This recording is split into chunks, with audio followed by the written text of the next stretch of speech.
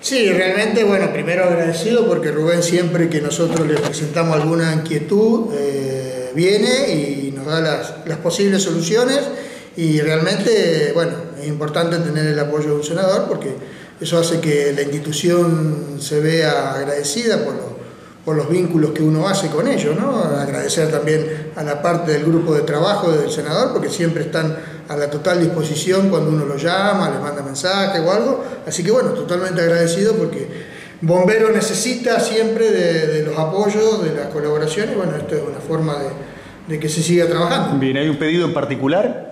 La idea era hacer el silorrazo de la parte nueva y bueno, era lo único que nos estaba faltando de material para poder terminar o para poder empezar a hacer la parte de mano de obra y bueno, esto viene como para poder eh, culminar esas compras de materiales. Muy bien. Senador, eh, la situación económica obviamente del país es compleja, las instituciones imagino cada vez que le, este, le piden alguna, digamos, alguna ayuda, eh, algún aporte se hace siempre cada vez este, más cuesta arriba llegar con, con lo que son los presupuestos, ¿no? Sin embargo, hoy aquí en San Carlos, en todas las instituciones que estuvo, se entregaron aportes considerables, ¿no? En cada una de ellas. Sí, bueno, buenos días. Buenos días. Quiero agradecerle a, Daniel y a todo el grupo bombero por siempre recibirnos y sumarnos a, cada uno de sus proyectos. Y respecto de lo que decís, bueno, es así, no, es extraño a nadie la situación que estamos viviendo, pero también nosotros ponemos el esfuerzo desde nuestro lugar, con nuestro equipo, en ese trabajo que venimos haciendo desde hace mucho tiempo, que es interactuar con las instituciones,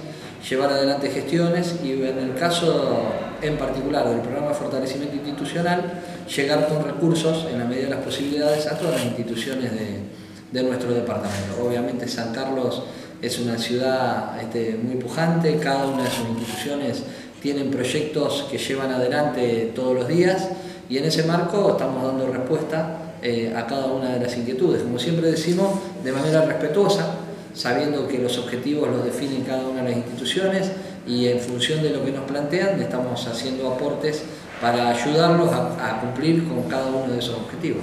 En muchas oportunidades también eh, las ayudas eh, responden a ver qué, puertas se pueden abrir a nivel provincial para acceder a otros programas que, excedan los, las, ayudas que son muy valiosas eh, realizadas por, por, por el Fondo de Fortalecimiento, pero digo, este, sean más cuantiosas? Sí, sin dudas. Este, bueno, la provincia tiene distintos programas que lleva adelante.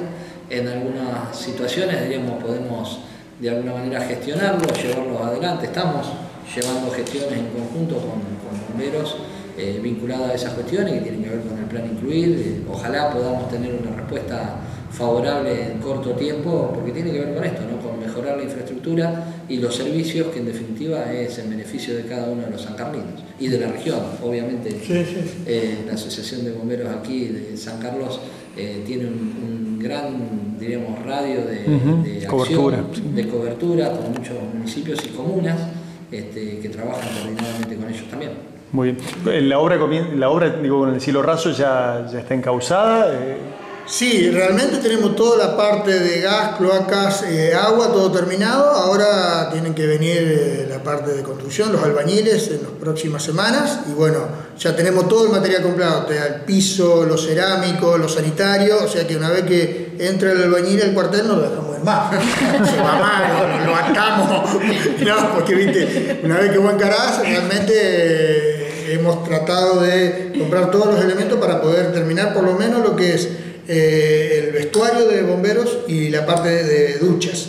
Porque la realidad te dice que, bueno, uno quiere que el bombero esté lo más cómodo posible, porque después que vuelve de un siniestro tiene que tener las comodidades para poder bañarse, volver a cambiarse, ir a su lugar de trabajo adecuadamente, si no tiene que irse a la casa, cambiarse, bañarse en la casa, entonces eso todo es una demora, porque seguramente esa persona salió de algún lugar de trabajo y eh, después de las horas de trabajo dentro del bombero tiene que volver de la forma más cómoda. Esta construcción que usted está mencionando, Daniel, ¿dónde está? Acá pasamos qué, lugar? a claro, acá a parte trasera de la parte sur del edificio. Detrás de donde está hoy el, cambiador habitual de bomberos. Exactamente, ahí atrás está un vestuario el doble más grande de lo que tenemos. Bien. Eh, podemos hacer unas imágenes si quieren, más eh, la, parte de ducha que tiene, cuenta con cuatro duchas y la parte todo de sanitarios.